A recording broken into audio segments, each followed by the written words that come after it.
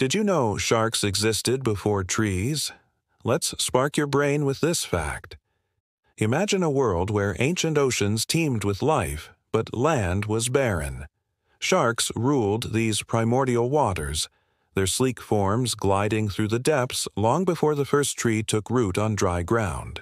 These incredible creatures have been around for over 400 million years, while trees only appeared about 390 million years ago. That's right, sharks are older than trees.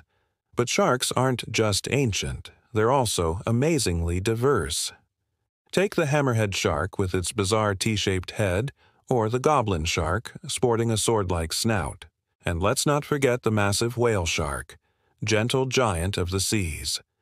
From the depths of the Mariana Trench to tropical coral reefs, sharks have adapted to every ocean environment, proving their incredible resilience and evolutionary success.